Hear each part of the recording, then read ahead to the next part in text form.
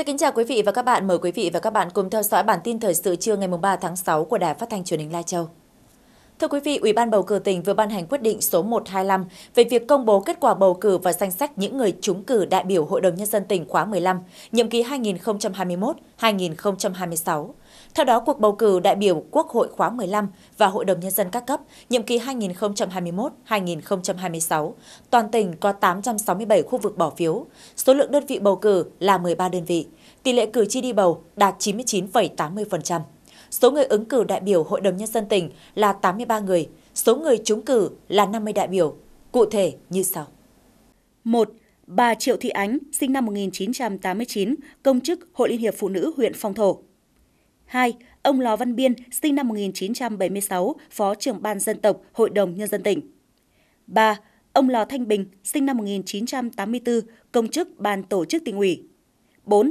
Ông Tống Thanh Bình, sinh năm 1970, Ủy viên Ban Thường vụ tỉnh ủy, Bí thư Thành ủy Lai Châu. 5. Bà Phùng Thị Thanh Bình, sinh năm 1991, công chức Viện Kiểm sát Nhân dân tỉnh Lai Châu. 6. Ông Nguyễn Sĩ Cảnh, sinh năm 1974, Bí thư huyện ủy Tân Uyên. 7. Ông Chu Lê Trinh, sinh năm 1966, Ủy viên Ban Thường vụ tỉnh ủy, Phó Chủ tịch Hội đồng Nhân dân tỉnh. 8. Bà Tao Thị Trùm, sinh năm 1987, Phó Chủ tịch Ủy ban Nhân dân xã Nậm Tam, huyện Sinh Hồ. 9. Bà Lò Thị Trương, sinh năm 1988, công chức phòng dân tộc huyện Nậm Nhùn. 10. Ông Lò Văn Cương, sinh năm 1977, Ủy ban Thường vụ tỉnh ủy, trưởng ban dân vận tỉnh ủy. 11. Ông Mùa A Dính, sinh năm 1965, Chủ tịch Hội đồng Nhân dân huyện Sinh Hồ. 12. Ông Vàng A Dơ, sinh năm 1977, Phó Chủ tịch Hội đồng Nhân dân huyện Nậm Nhùn. 13. Ông Trần Tiến Dũng, sinh năm 1975, Phó Bí thư tỉnh ủy, Chủ tịch Ủy ban Nhân dân tỉnh. 14. Ông Vũ Ngọc Duy, sinh năm 1975, Phó trưởng Ban Văn hóa Xã hội Hội đồng Nhân dân tỉnh. 15. Ông Phạm Hải Đăng, sinh năm 1975, Phó Giám đốc Công an tỉnh Lai Châu. 16. Bà Vàng Thị Đăm, sinh năm 1989, Hội Liên hiệp Phụ nữ xã Nà Tam, huyện Tam Đường. 17. Bà Tòng Thị Đoan, sinh năm 1980, trưởng ban dân tộc Hội đồng Nhân dân huyện Than Uyên. 18. Ông Nguyễn Bảo Đông, sinh năm 1971, Phó trưởng ban Kinh tế Ngân sách Hội đồng Nhân dân tỉnh. 19. Bà Trèo Thị Hà, sinh năm 1975, Chủ tịch Hội Liên hiệp Phụ nữ huyện Sinh Hồ. 20. Ông Hà Trọng Hải, sinh năm 1974, Phó Chủ tịch Ủy ban Nhân dân tỉnh. 21. Bà Vương Thị Thu Hiền, sinh năm 1977, Phó Chủ tịch Hội đồng Nhân dân huyện Phong Thổ. 22. Ông Nguyễn Minh Hiệp, sinh năm 1981, Phó Tránh Văn phòng Đại biểu Quốc hội tỉnh Lai Châu. 23. Ông Lò Minh Hiếu, sinh năm 1988, trưởng ban tuyên giáo tỉnh đoàn Lai Châu. 24. Ông Sùng A Hồ, sinh năm 1966, trưởng ban chuyên trách Ban dân tộc, Hội đồng Nhân dân tỉnh. 25. Ông Sùng A Hồ, sinh năm 1976, Chủ tịch Ủy ban Mặt trận Tổ quốc Việt Nam tỉnh. 26. Ông Dương Quốc Hoàn, sinh năm 1978, Phó Giám đốc Sở Tài chính. 27. Ông Lò Văn Học, sinh năm 1973, trưởng ban tổ chức huyện ủy Tân Uyên. 28. Ông Lý Anh Hư, sinh năm 1964, bí thư huyện ủy Mường Tè.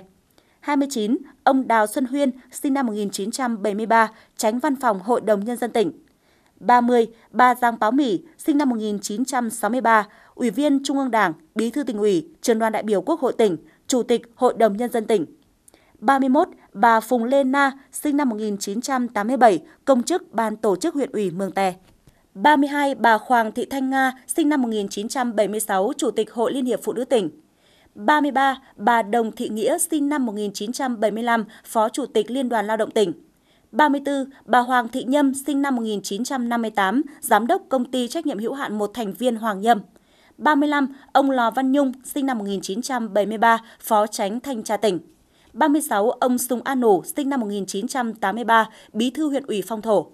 37. Ông Thảo A Pinh, sinh năm 1972, Chính ủy, Bộ Chỉ huy Quân sự tỉnh. 38. Bà Tần Thị Quế, sinh năm 1979, Bí thư huyện ủy Tam Đường. 39. Ông Lương Văn Quý, sinh năm 1973, Chủ tịch Ủy ban Mặt trận Tổ quốc huyện Sìn Hồ. 40. Ông Giàng A Thanh, sinh năm 1987, Chủ tịch Ủy ban Mặt trận Tổ quốc huyện Tam Đường. 41. Ông Lê Công Thành, sinh năm 1970, Chủ nhiệm chính trị, Bộ Chỉ huy, Bộ đội Biên phòng tỉnh. 42. Bà Trang Phương Thảo sinh năm 1982, trưởng ban tuyên giáo huyện ủy Phong Thổ. 43. Ông Nguyễn Xuân Thức, sinh năm 1968, Phó trưởng Ban Kinh tế Ngân sách, Hội đồng Nhân dân tỉnh. 44. Ông Lò Văn Tính, sinh năm 1987, công chức Ban tuyên giáo huyện ủy Tân Uyên. 45. Ông Mùa A Trừ, sinh năm 1972, Chủ tịch Hội Nông dân tỉnh Lai Châu. 46. Ông Lò Hải Ươi, sinh năm 1973, Chủ tịch Ủy ban Mặt trận Tổ quốc huyện Than Uyên. 47. Bà Pờ Hồng Vân, sinh năm 1977, trưởng phòng y tế huyện Mường Tè. 48. Ông Nguyễn Ngọc Vinh, sinh năm 1979, Ủy viên Ban Thường vụ tỉnh ủy, chủ nhiệm Ủy ban Kiểm tra tỉnh ủy. 49. Bà Giàng Thị Xoa, sinh năm 1971, Phó Chủ tịch Hội đồng Nhân dân thành phố Lai Châu. 50. Bà Lò Thị Thanh Yên, sinh năm 1985, Phó trưởng phòng theo dõi công tác phòng chống tham nhũng, Ban Nội chính tỉnh ủy. Thưa quý vị, chiều ngày 2 tháng 6, Hội Liên hiệp Phụ nữ phường Quyết Tiến, thành phố Lai Châu đã tổ chức Đại hội đại biểu Phụ nữ phường lần thứ 3, nhiệm kỳ 2021-2026. Với phương châm đoàn kết, sáng tạo, đổi mới và phát triển, nhiệm kỳ 2021-2026, Hội Liên hiệp Phụ nữ phường Quyết Tiến đã đề ra 11 chỉ tiêu cơ bản và 3 nhiệm vụ trọng tâm. Trong đó có chỉ tiêu quan trọng như trên 85% phụ nữ được nâng cao đời sống văn hóa tinh thần, giáo dục truyền thống cho phụ nữ, 100% hội viên thuộc hộ nghèo, cận nghèo có nhu cầu được vay vốn ngân hàng chính sách xã hội tỉnh. Hàng năm phối hợp đào tạo nghề cho trên 30 lao động, giới thiệu việc làm cho 20 lao động trở lên. Thưa quý vị và các bạn, theo số liệu từ Trung tâm Điều độ Hệ thống Điện Quốc gia, thì do nắng nóng cay cắt đã làm tiêu thụ điện tăng rất mạnh. Sản lượng tiêu thụ điện toàn quốc ngày 1 tháng 6 năm 2021 tiếp tục lập kỷ lục mới với con số là 880,3 triệu kWh, tăng tới gần 25% so với cùng kỳ năm 2020 và tăng hơn 15% so với trung bình tuần trước đợt nóng.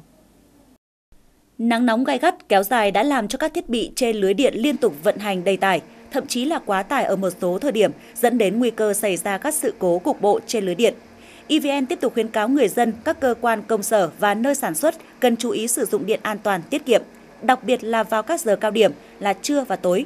Đồng thời, chú ý sử dụng hợp lý điều hòa nhiệt độ, đặt ở 27 độ C trở lên, sử dụng kết hợp với quạt và không nên sử dụng đồng thời nhiều thiết bị điện công suất lớn. Tắt bớt các thiết bị không cần thiết để giảm thiểu nguy cơ xảy ra sự cố, cháy nổ về điện. Chiều ngày 2 tháng 6, Trung tâm Hoạt động Thanh thiếu nhi tỉnh tổ chức lễ tổng kết và trao giải cuộc thi Aerobic nhóm nhảy hiện đại tỉnh Lai Châu năm 2021. Dự buổi lễ có đại diện lãnh đạo tỉnh đoàn Lai Châu. Cuộc thi Aerobic nhóm nhảy hiện đại tỉnh Lai Châu lần thứ nhất năm 2021 là sân chơi lành mạnh bổ ích, là điều kiện cho thanh thiếu nhi thể hiện năng khiếu và đam mê của nghệ thuật. Do ảnh hưởng của dịch bệnh COVID-19 vẫn đang diễn biến phức tạp, ban tổ chức cuộc thi đã chuyển từ hình thức thi trực tiếp sang hình thức thi gián tiếp bằng thể thức chấm video, tổ chức lễ trao giải cho các nhóm nhảy có mặt trên địa bàn của thành phố. Còn đối với các huyện sẽ chuyển giải thưởng đến các đội, nhóm đạt giải trong cuộc thi và đảm bảo trong công tác phòng chống dịch bệnh COVID-19. Ban tổ chức đã trao một giải nhất, một giải nhì, hai giải ba, ba giải khuyến khích với hai thể loại là aerobic và nhảy hiện đại. Tính từ 18 giờ ngày 2 tháng 6 đến 6 giờ ngày 3 tháng 6 có 57 ca mắc mới COVID-19, từ bệnh nhân 7.814 đến 7.870. Trong đó có một ca cách ly ngay sau khi nhập cảnh tại Tây Ninh và 56 ca ghi nhận trong nước tại Bắc Giang 32 ca, Bắc Ninh 20 ca, Lạng Sơn 3 ca và Hải Dương là 1 ca. Tính đến 16 giờ ngày 2 tháng 6, cả nước đã thực hiện tiêm vaccine phòng COVID-19 đợt 1 và 2 tại các tỉnh, thành phố với 1 triệu 110.111 liều. Trong đó, số người đã được tiêm đủ 2 mũi vaccine phòng COVID-19 là 31.177 người. Hưởng ứng lời kêu gọi của Ủy ban Trung ương Mặt trận Tổ quốc Việt Nam và tỉnh ủy, Hội đồng Nhân dân, Ủy ban Nhân dân, Ủy ban Mặt trận Tổ quốc Việt Nam tỉnh, tập thể cán bộ, công chức, viên chức, người lao động đài phát thanh truyền hình tỉnh nêu cao tinh thần trách nhiệm, đoàn kết, chung tay ủng hộ phòng chống dịch COVID-19. Trong đợt phát động lần này, Đài Phát thanh Truyền hình tỉnh đã kêu gọi tới toàn thể cán bộ công chức viên chức và người lao động mỗi người ủng hộ và hưởng ứng ít nhất một ngày lương. Đây là hoạt động truyền thống của tập thể Đài Phát thanh Truyền hình tỉnh trong việc chung tay ủng hộ khi đất nước gặp thiên tai lũ lụt dịch bệnh. Thưa quý vị, trước những diễn biến phức tạp của dịch COVID-19 tại một số tỉnh trong cả nước, thì sau khi có công văn chỉ đạo từ tỉnh đến huyện, xã Mường Than, huyện Than Uyên đang tích cực trong việc giả soát, quản lý công dân từ vùng có dịch COVID-19. Với phương châm gõ từng nhà, ra từng người, đồng thời xã cũng tăng cường các biện pháp tuyên truyền phòng chống dịch theo thông điệp 5K của Bộ Y tế. Ghi nhận của phóng viên thời sự, mời quý vị và các bạn cùng theo dõi. Gia đình chị Lò Thị Ngắm ở bản Cầm Trung 1, xã Mường Than có hai con cùng với chồng hiện đang lao động tại các tỉnh Hải Dương và Bắc Ninh. Sau khi dịch COVID-19 bùng phát và phức tạp, thì chồng chị đã nghỉ công việc từ Hải Dương và di chuyển về địa phương. Khi thấy chồng bắt xe về nhà, chị rất lo lắng và đã ra trụ sở xã để báo cáo với chính quyền địa phương. Từ đó chị cũng được tư vấn, hướng dẫn về các biện pháp phòng chống dịch và khai báo y tế. Chồng tôi thì đi làm ở Hải Dương về đang à, đi trên đường về thì là phải cách à, đi trạm xá y tế khai báo y tế xá không được vào nhà trước. Những ngày này, người dân ở Mường Than, huyện Than Uyên cũng đang rất quan tâm đến tình hình dịch COVID-19 trong cả nước và cập nhật thông tin nơi con em mình đang lao động tại các vùng có dịch. Mặc dù nhiều gia đình rất lo lắng, nhưng với việc tích cực tuyên truyền của chính quyền xã, hiện nay nhiều hộ dân đang vận động con em mình lao động ở đâu thì ở yên đó, không di chuyển về địa phương. Đồng thời người dân cũng chấp hành tốt các biện pháp phòng chống dịch khi đi ra khỏi nhà. Vâng, nhà tôi có 8 đứa con đi làm ở dưới xuôi. Nhưng mà bây giờ hành chính bây giờ là có dịch thì tôi để cho hết dịch thì mới cho cháu về. Thì các bà ở trong xóm trong làng thì bây giờ hết dịch thì mới cho con đi lại. Thế. Đối bản thân tôi thì tôi ở nhà để trông các cháu để ờ, các cháu khỏi đi ra ngoài đường thì đi ra ngoài nhà thì phải ờ, đeo khẩu trang cho nó cẩn thận. Hiện tại, xã Mường Than còn 334 công nhân đang lao động tại các tỉnh như Hải Dương, Hà Nội, Bắc Giang, Bắc Ninh, Thái Nguyên. Trong đó có 45 công dân lao động tại vùng bị phong tỏa. Theo thông tin từ xã Mường Than, hiện nay toàn bộ công dân của xã đang ở các khu công nghiệp đều không có việc làm và vẫn đang được các đơn vị doanh nghiệp nuôi ăn, ở, đảm bảo. Trước tình hình hiện nay, để đảm bảo công tác phòng chống dịch, xã Mường Than đang tích cực tuyên truyền các hộ dân có con em đi lao động, tuyên truyền con em mình phải thực hiện tốt công tác phòng chống dịch. Đồng thời chính quyền xã cử cán bộ, các đoàn thể phối hợp với trưởng các bản đi từng nhà, ra từng người để nắm thông tin và có các biện pháp tuyên truyền cụ thể để người dân thực hiện tốt các biện pháp phòng chống dịch. À, hiện nay trên địa bàn xã Mường Than chúng tôi đang à, chỉ đạo và thực hiện đồng bộ cái nội dung theo cái à, công điện như văn bản của ban chỉ đạo huyện là thực hiện là gõ từng nhà mà ra đến từng hộ từng công dân. Thế như các đồng chí vừa thấy thì chúng tôi đi giả soát đến từng hộ để đảm bảo là những công dân đang lao động trong nước, ngoài nước, đặc biệt là những cái vùng dịch để đảm bảo là chúng ta kiểm soát được cái công dân chúng ta đi làm ngoài địa bàn xem có nhu cầu về hay không. Trước khi về thì chúng tôi khuyên cáo là phải thực hiện trước khi về phải liên hệ với người nhà, người thân, chính quyền địa phương để chúng tôi hướng dẫn mà không có nhu cầu về chúng tôi cũng nắm bắt được cái thông tin để đảm bảo rằng là công dân của mình đang an toàn ở nơi đi lao động và đặc biệt là chúng ta kiểm soát được người khi mà lao động trước khi trở về địa phương. Với các biện pháp tuyên truyền cụ thể, nhân dân trên địa bàn của xã Mường Than, huyện Than Uyên đều yên tâm lao động, sản xuất, công tác phòng chống dịch tại các địa phương được thực hiện tốt. Sau 5 năm, Đảng bộ huyện Tam Đường tổ chức học tập nghiên cứu quán triệt chỉ thị số 05 của Bộ Chính trị và các chuyên đề hàng năm, tổ chức gần 590 hội nghị, 149 cuộc họp tri bộ, đoàn thể với gần 17.500 lượt người tham gia, trong đó tỷ lệ đảng viên đạt gần 93%, công chức viên chức chưa là đảng viên đạt gần 94%. Việc tổ chức học tập các chuyên đề toàn khóa và chuyên đề hàng năm được toàn đảng bộ huyện triển khai nghiêm túc, đảm bảo tiến độ chất lượng, đúng mục đích, yêu cầu đề ra. Sau các hội nghị học tập trực tuyến đến 100% số xã thị trấn, huyện tiếp tục chỉ đạo các chi đảng bộ cơ sở, mặt trận Tổ quốc và các đoàn thể chính trị xã hội tổ chức hội nghị phổ biến quán triệt chuyên đề đến cán bộ đảng viên, đoàn viên, hội viên bằng các hình thức phù hợp, từ đó giúp cán bộ đảng viên hội viên nắm vững các yêu cầu và nhận thức sâu sắc hơn về những nội dung cơ bản của tư tưởng, đạo đức, phong cách Hồ Chí Minh. Cũng trong tháng 5, công tác quản lý và bảo vệ rừng tiếp tục được lực lượng kiểm lâm và chính quyền các địa phương thực hiện tốt.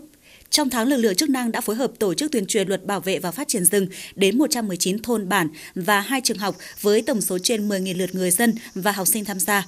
Tổ chức ký cam kết bảo vệ rừng và phòng cháy chữa cháy rừng được hơn 4.000 hộ. Cùng với công tác tuyên truyền, việc tuần tra kiểm soát bảo vệ rừng tiếp tục được tăng cường. Qua đó, lực lượng chức năng đã phát hiện 13 vụ vi phạm luật bảo vệ và phát triển rừng, trong đó phá rừng trái pháp luật là 3 vụ, khai thác rừng trái phép 1 vụ, mua bán vận chuyển lâm sản trái phép 8 vụ, tàng trữ lâm sản trái phép 1 vụ. Trong tháng 5, tổng mức bán lẻ hàng hóa và doanh thu dịch vụ ước đạt trên 532 tỷ đồng, tăng 29% so với cùng kỳ của năm trước. Do tác động của đại dịch COVID-19, doanh thu hoạt động lưu trú và ăn uống giảm. Tổng giá trị xuất nhập khẩu trên địa bàn cũng giảm 54% so với cùng kỳ năm 2020. Hiện nay, ngành công thương đã và đang triển khai các giải pháp quản lý về thương mại, trong đó đảm bảo cân đối cung cầu hàng hóa thiết yếu cho sản xuất và tiêu dùng, thực hiện kết nối cung cầu, hỗ trợ doanh nghiệp, nông dân tiêu thụ sản phẩm. Bên cạnh đó, ngành công thương tiếp tục phối hợp với Cục Quản lý Thị trường tỉnh trong công tác quản lý thị trường, chống đầu cơ, buôn lậu, gian lận thương mại, bảo vệ quyền lợi người tiêu dùng. Theo thông tin từ Phòng Cảnh sát Phòng cháy chữa cháy và Cứu nạn Cứu hộ Công an tỉnh, từ đầu năm đến nay, toàn tỉnh xảy ra 7 vụ cháy, trong đó có 4 vụ cháy nhà, 3 vụ cháy rừng. So với cùng kỳ năm trước thì số vụ cháy đã giảm nhiều, tuy nhiên vụ cháy do nguyên nhân chập điện lại chiếm tỷ lệ cao, gây thiệt hại lớn về tài sản và khó lường trước được hiểm họa. Thời gian tới, các cơ quan chức năng khuyến cáo người dân cần khoa học hơn trong cách lắp đặt thiết bị điện, thường xuyên kiểm tra hệ thống điện, bếp ga, trang bị dụng cụ chữa cháy tại chỗ và mỗi gia đình bố trí lối thoát nạn đồng thời tổ chức các đợt cao điểm về tuyên truyền, hướng dẫn, tư vấn, kiểm tra an toàn phòng cháy chữa cháy và cứu nạn cứu hộ đối với các khu dân cư, hộ gia đình, nhà ở kết hợp sản xuất kinh doanh nhằm góp phần phòng ngừa, ngăn chặn các vụ cháy và giảm thiệt hại do cháy gây ra. Vụ ngô xuân hè năm nay, bà con trên địa bàn huyện Tam Đường thực hiện gieo trồng 2.780 ha tại 13 trên 13 xã thị trấn. Hiện nông dân huyện Tam Đường đang tập trung làm cỏ, bón thuốc đợt 1 và phòng chống sâu bệnh cho ngô xuân hè. Nhờ đó, ngô trà sớm đã phát triển từ 7 đến 9 lá, trà chính vụ 5 lá và trà muộn 3 lá. Năm nay thời tiết thuận lợi, mưa sớm, độ ẩm cao giúp bà con trồng chăm sóc cây ngô xuân hè dễ dàng hơn. Huyện xác định ngô là cây trồng chủ lực trong vụ xuân hè. Tất cả diện tích ngô của huyện trồng trên đất nương, ruộng đều được cán bộ phòng nông nghiệp và phát triển nông thôn huyện hướng dẫn về kỹ thuật, đảm bảo gieo trồng đúng lịch thời vụ. Các loại giống ngô lai chung, ngắn ngày, thích nghi với điều kiện thời tiết được bà con đưa vào trồng.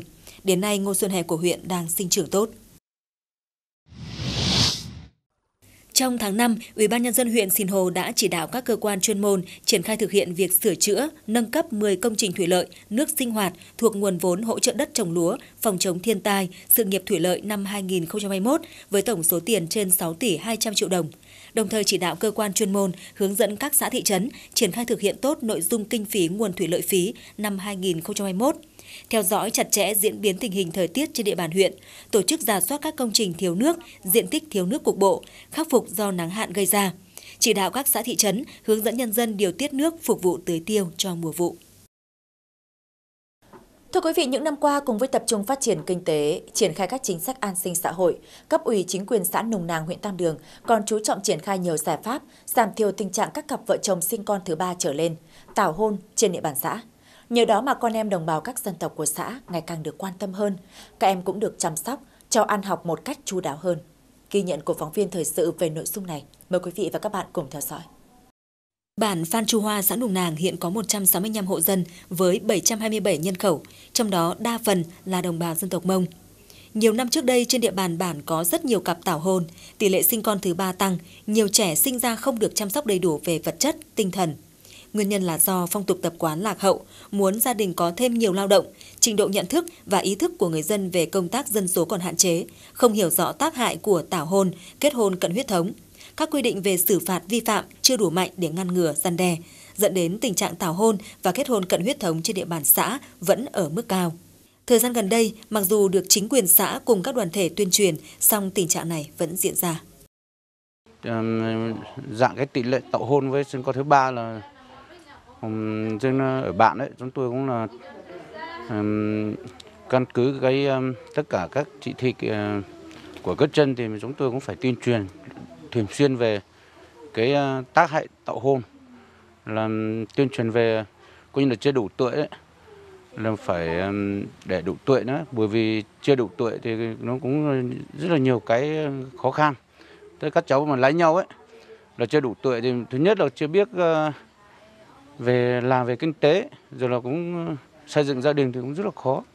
Thì bây giờ là chúng tôi cũng thường xuyên tuyên truyền là sâu sắc về cái vấn đề mà Ờ, kinh tế gia đình cũng như vợ vợ chồng mà sinh sống chưa đủ tuổi là cũng chưa chưa được đảm bảo. Mà cũng về thứ hai là là theo về pháp luật thì nó cũng chưa được, chưa được đăng ký kết hôn.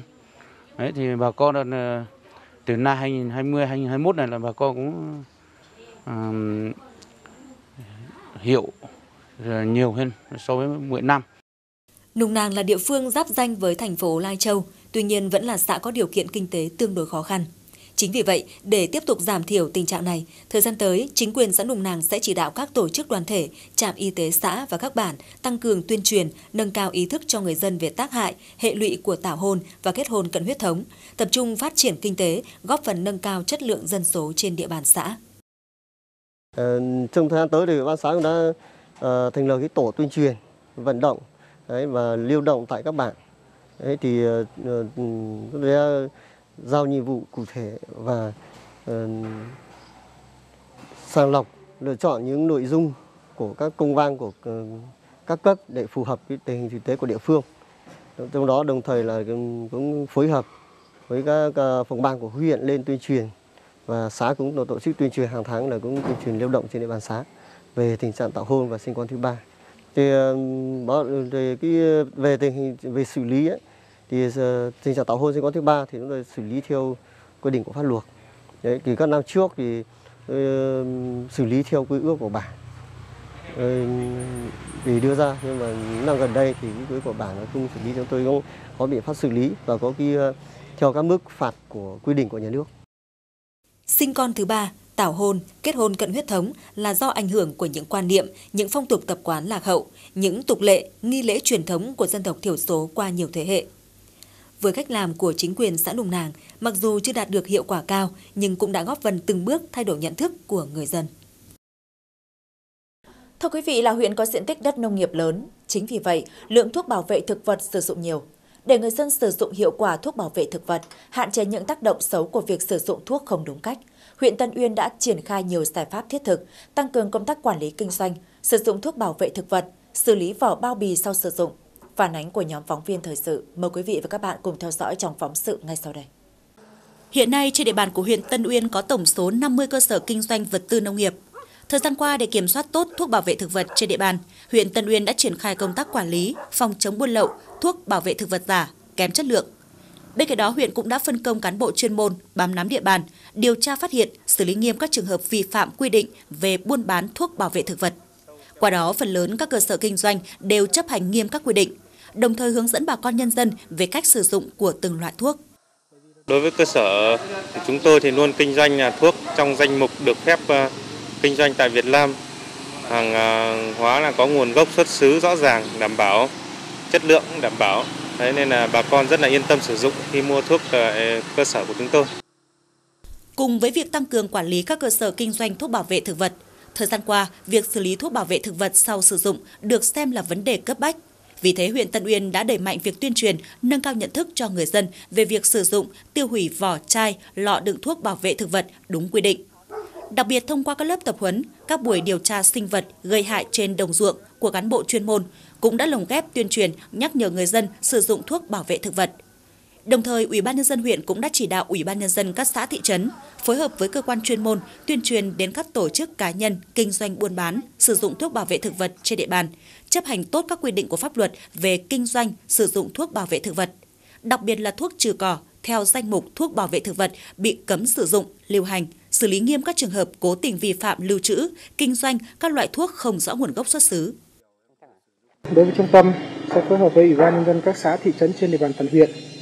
Thứ nhất là một là tuyên truyền công tác uh, sử dụng thuốc bảo vệ bảo vệ thực vật đúng trong cái danh mục được sử dụng và ngoài ra những cái thuốc bảo vệ không được sử dụng trong danh mục thì cũng tuyên truyền cho các hộ gia đình và các xã thị trấn trên địa bàn toàn huyện là không nên dùng những cái thuốc mà không sử dụng trong cái danh mục uh, được sử dụng.